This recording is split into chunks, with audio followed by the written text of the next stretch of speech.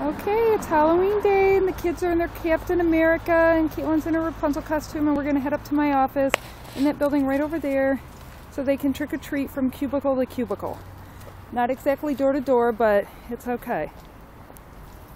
Caitlin, can you say hi? Hi.